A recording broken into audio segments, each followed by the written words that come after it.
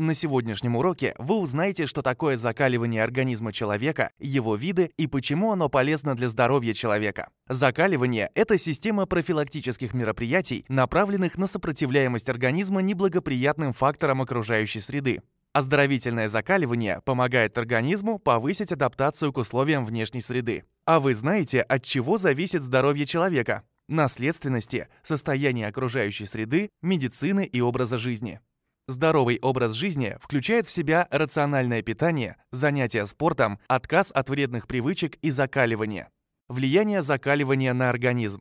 Повышение устойчивости к простудным заболеваниям, улучшение общего самочувствия организма человека, укрепление сердечно-сосудистой и дыхательной систем организма, улучшение процессов пищеварения человека. Прогулки очень важны для организма человека. Также прогулки на воздухе рекомендуется совмещать с подвижными играми и активными движениями человека. Виды воздушных ванн. Горячие, свыше 30 градусов по Цельсию. Теплые, свыше 22 градусов по Цельсию. Прохладные, от 17 до 21 градуса. Умеренно холодные, от 13 до 17 градусов. Холодные, от 4 до 13 градусов очень холодные, ниже 4 градусов по Цельсию.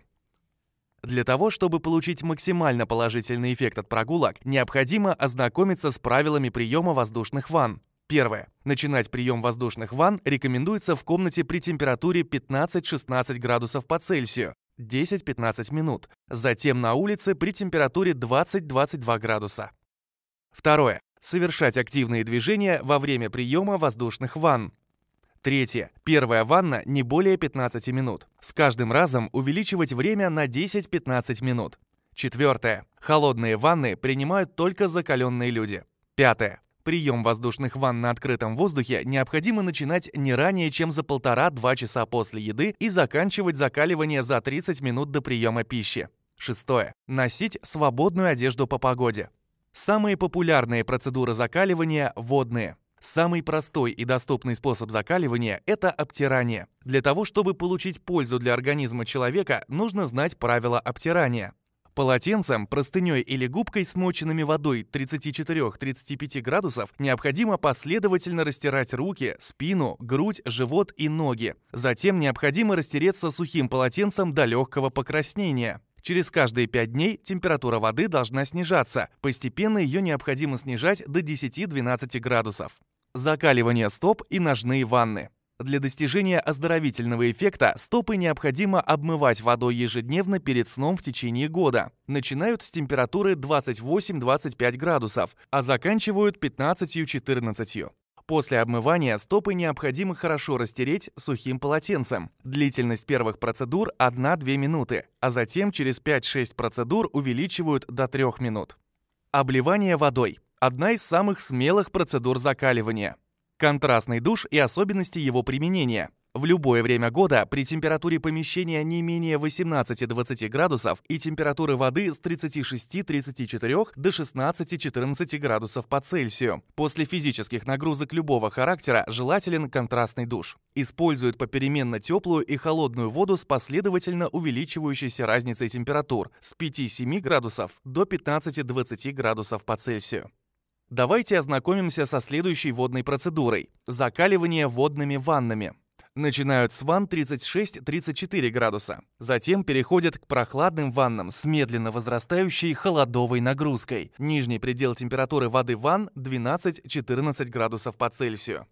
Хождение босиком по траве очень полезно. Чтобы не простудиться, нужно знать. Продолжительность процедур с 3 до 5 минут, постепенно увеличивают до 15-20 минут. После этого ноги обливают водой комнатной температуры 18-24 градуса. Тщательно вытирают махровым полотенцем.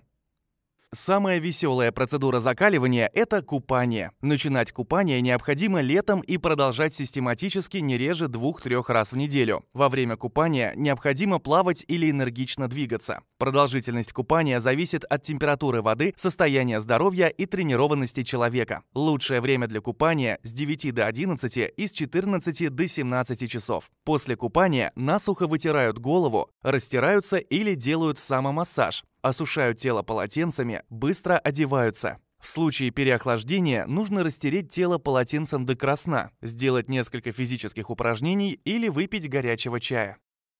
Баня. Очень полезна для здоровья человека. Влияние банных процедур на организм человека. Повышается работоспособность организма и ускоряются восстановительные процессы после напряженной и длительной физической работы. Расширяются кровеносные сосуды и усиливается кровообращение во всех тканях организма. Интенсивно выделяется пот, что способствует выведению из организма вредных веществ.